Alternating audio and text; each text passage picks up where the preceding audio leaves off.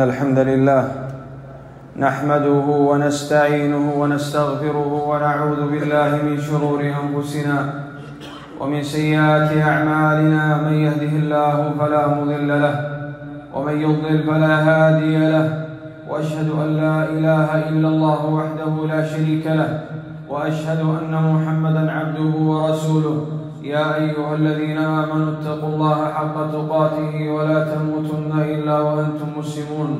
يا أيها الناس اتقوا ربكم الذي خلقكم من نفس واحدة وخلق منها زوجها وبث منهما رجالا كثيرا ونساء. واتقوا الله الذي تساءلون به والأرحام. إن الله كان عليكم رقيبا. يا أيها الذين آمنوا اتقوا الله وقولوا قولا سديدا. يصلح لكم أعمالكم ويغفر لكم ذنوبكم ومن يطع الله ورسوله فقد فاز فوزا عظيما. أما بعد عباد الله فاتقوا الله حق التقوى واستمسكوا من الدين بالعروة الوثقى. واعلموا أنكم محاسبون وعن أعمالكم مجزيون وبين يدي الله واقفون. في يوم لا ينفع فيه مال ولا بنون. إلا من أتى الله بقلب سليم. عباد الله إن مما تساهل فيه كثير من الناس في الآونة الأخيرة كثرة الديون فصار كثير من الناس يأخذ الدين بحاجة وبغير حاجة بحلال أو بحرام. وكل ذلك يا عباد الله فيه نظر في الشرع. وعلى هذا يا عباد الله نذكر مسائل نذكر مسائل متعلقة بالدين. على سبيل المثال لا على سبيل الحصر. فإن مسائل فإن مسائل الدين كثيرة جدا. فأولا يا عباد الله الدين كان النبي صلى الله عليه وسلم يستعيذ منه. لما فيه يا عباد الله لما فيه من وسيلة إلى الوقوع في الذنوب والمعاصي والكذب وإخلاف الوعد. فعن عائشة رضي الله عنها قالت كان النبي صلى الله عليه وسلم يدعو في الصلاة اللهم إني أعوذ بك من المأثم والمغرم. فقال رجل يا رسول الله إنك تكثر أن تستعيذ من المغرم. فقال النبي صلى الله عليه وسلم إن الرجل إذا غرم أي إذا استدان حدث فكذب ووعد فأخلف. وكان النبي صلى الله عليه وسلم يستعيذ من غلبة الدين في كل صباح ومساء. فقد كان النبي صلى الله عليه وسلم يقول اللهم إني أعوذ بك من الهم والحزن والجبن والبخل وغلبة الدين وقهر الرجال. وكان النبي صلى الله عليه وسلم يستدين عند الحاجة والضرورة. فقد مات النبي صلى الله عليه وسلم ودرعه مرهون عند يهودي في شعير أخذه منه. وهذا يدل على جواز الدين عند الحاجة والضرورة. أما إذا لم تكن هناك حاجة ولا ضرورة فإن الذي يستدين داخل في التشديد الذي ذكره النبي صلى الله عليه وسلم لمن استدان حتى يموت.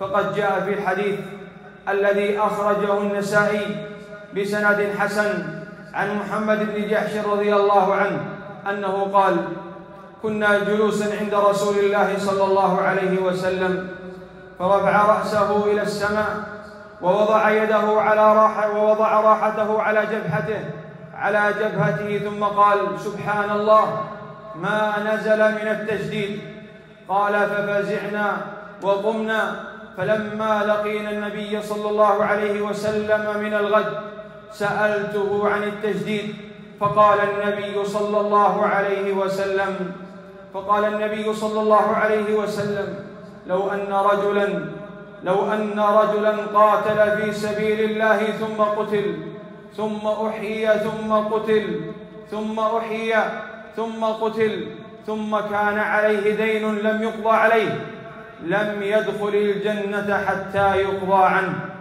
وهذا كله يدل يا عباد الله على عظم هذا الأمر الذي تساهل فيه اليوم كثير من الناس. فصاروا يأخذون من الديون من الأفراد ومن المؤسسات يأخذون بالحلال بالحلال وبالحرام يأخذون بالحاجة والضرورة وفي الكمال وغير ذلك. ومن المسائل يا عباد الله المتعلقة بالدين أن الدائن محسن ومتصدق كما جاء في حديث النبي صلى الله عليه وسلم والمدين عليه أن يبادر بالسداد متى تيسر له ذلك. فكل مال يزيد على نفقته الضرورية والحاجية فإن الدائن أولى بالمال. وهذا غلط يقع فيه اليوم كثير من الناس. فتجد الرجل عليه الديون الكثيرة ومع ذلك تجده يتوسع في مركبه وملبسه ومسكنه. بل وفي سفره وفي كل شؤون حياته. وهذا لا شك يا عباد الله أنه لا يجوز إلا إذا كان الدائن قد سمح له بذلك.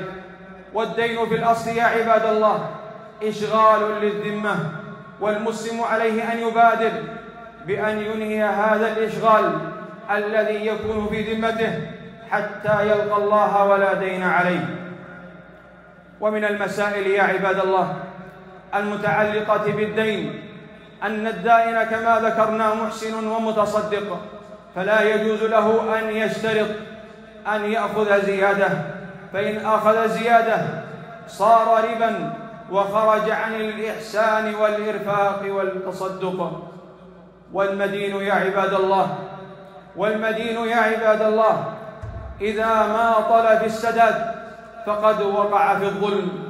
وقد قال صلى الله عليه وسلم مطل الغني ظلم. ومطله يا عباد الله هو عدم سداده مع قدرته عليه. وقد سماه النبي صلى الله عليه وسلم ظلما.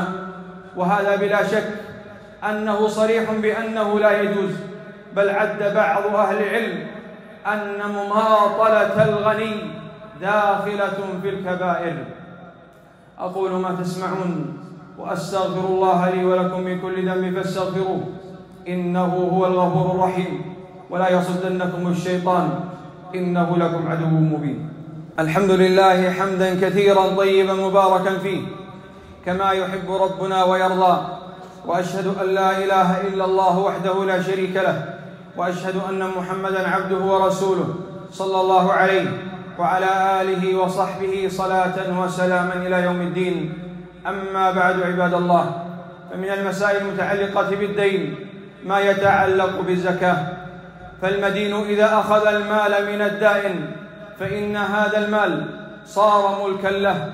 فإذا حال عليه الحول وقد بلغ النصاب فإنه يزكيه. وكذلك الدائن الذي أعطى المال فإن هذا المال يزكيه لأنه مال في ذمته ويزكي الدائن هذا المال. إذا كان هذا الرجل الذي إذا كان هذا الرجل المدين موسرا فإنه يزكي في كل سنة. وأما إذا كان معسرا أو مماطلا فإنه لا يزكي هذا المال إلا مرة واحدة إذا قبضه من المدين. ومن المسائل يا عباد الله المتعلقة بالدين وهي من أهمها أن كثيرا من الناس يلجؤون إلى الأدعية المبتدعة التي تنشر في وسائل الإعلام وفي وسائل التواصل من أجل قضاء الدين. فيقال هذا دعاء قضاء الدين وينشر بين الناس ويردده الناس وهذا كله من الأمور المبتدعة. وفي السنة المأثورة ما يكفي عن ما يكفي عن هذه الأدعية المبتدعة. فقد جاءت أحاديث عن الرسول صلى الله عليه وسلم في في أدعية قضاء الدين ونذكر شيئا منها. منها ما جاء عن علي رضي الله عنه وأرضاه أن رجلا مكاتبا جاء إليه يشتكي المكاتبة وقد ثقلت عليه. والمكاتبة هو أن يدفع العبد لسيده مالا حتى يعتقه. فقال له علي رضي الله عنه وأرضاه ألا أعلمك كلمات علمنيها رسول الله صلى الله عليه وسلم؟ قال أن تقول اللهم اغنني بحلالك عن حرامك واكفني بفضلك عما سواك.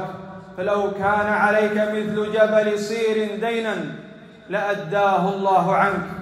ومن الأدعية الواردة في السنة عن النبي صلى الله عليه وسلم ما كان يدعو به في كل صباح ومساء. اللهم إني أعوذ بك من الهم والحزن والعجز والكسل والجبن والبخل وغلبة الدين وقهر الرجال. وجاء في غير الصحيحين أن النبي صلى الله عليه وسلم علم هذا الدعاء أبا أمامة رضي الله عنه وأرضاه. لما رآه مهموما ومحزونا من كثرة الديون عليه. فهذا الدعاء من أعظم الأدعية التي كان يواظب عليها النبي صلى الله عليه وسلم في كل صبح ومساء.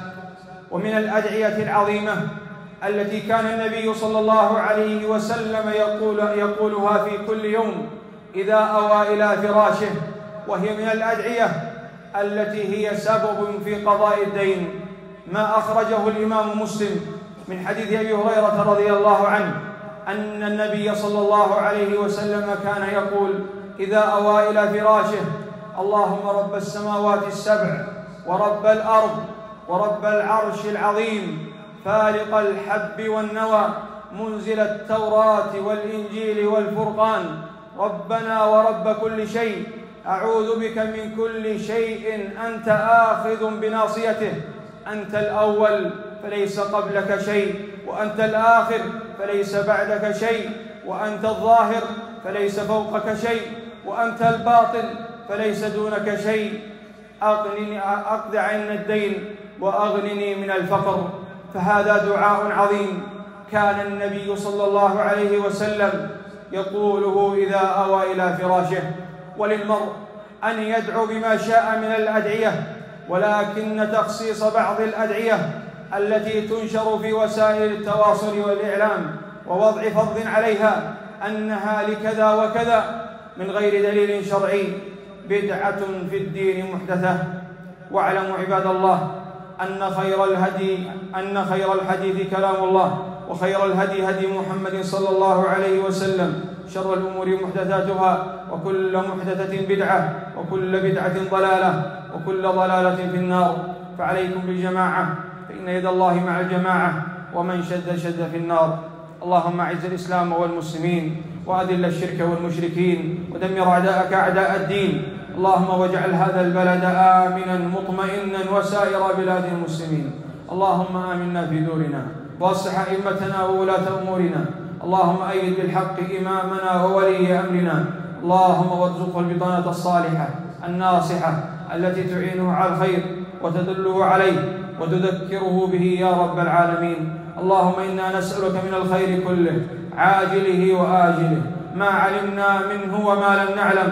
ونعوذ بك اللهم من الشر كله عاجله وآجله. ما علمنا منه وما لم نعلم.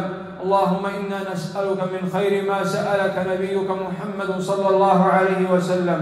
ونعوذ بك اللهم من شر ما استعاذ منه نبيك محمد صلى الله عليه وسلم.